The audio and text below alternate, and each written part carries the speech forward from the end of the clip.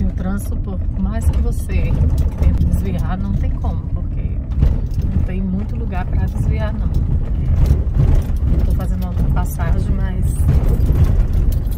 é meio complicado, porque onde você for tem buraco, não adianta. Olha só isso aqui, para onde é que você vai desviar? Não tem como, não tem como você não cair no buraco.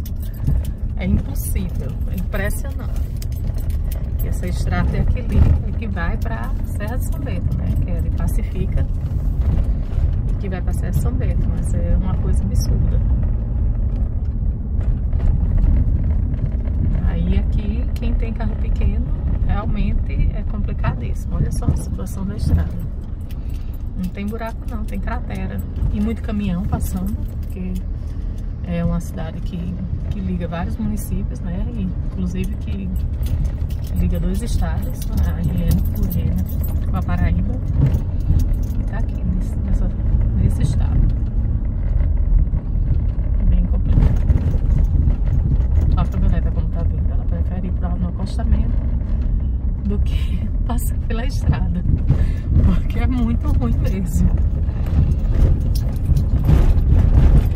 Isso, o período de chuvas iniciou agora, né? Imagine daqui a pouquinho, que tá previsto muita chuva ainda. Aí ela se desmancha, vai se desmanchar na estrada.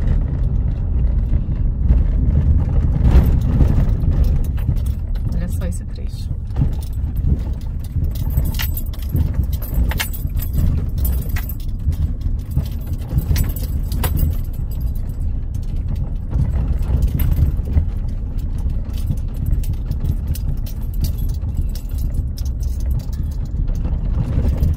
É o Rio Grande do Norte, né? O estado não funciona nem na saúde, a saúde é o caos, a educação está nos piores níveis do Brasil e as estradas está assim, né? A infraestrutura péssima, saúde péssima, é, educação péssima, o sistema penal péssimo, é, os policiais sendo super maltratados aí, né? Mas tá aí. Relegeram, não relegeram? Fátima? Pronto. Então, cada um tem o que merece, né? E quem não votou, paga o pato. Pronto. É desse jeito mesmo. É assim que funciona.